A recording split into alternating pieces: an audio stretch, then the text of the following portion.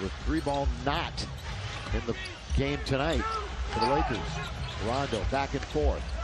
He's going to try one on cue. Right on cue. That's what we want to What's see. he's made four in a row now? Rondo back and forth. He's going to try one on cue. Right on cue. That's what we want to What's see. he's made four in a row now? He made four in a row now? He made his three out of three in the last game, didn't he? Yes, this, we're talking about threes. Three, yeah, yeah. he did miss. And the Clippers don't miss with Lou Williams. Clippers have doubled up the points off of turnovers on the Lakers. That's been the difference in the Clippers have doubled up the points off of turnovers on the Lakers. That's been the difference in the game. Rondo, great move, but then he couldn't score. The stop and the spin and the shot.